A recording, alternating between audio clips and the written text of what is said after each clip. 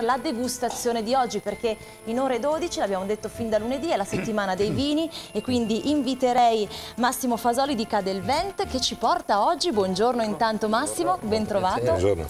Cosa ci porta oggi Massimo? Vi porto un uh, Franciacorta Brut, uno spumante di qualità italiano. Mi dicono che è la prima volta che viene presentato un Franciacorta Sì. nella vostra trasmissione, quindi vi direi che la nostra regione vitivinicola Sì. si estende dalle colline subito dopo la città di Brescia fino al lago di Iseo. Ecco. Benissimo.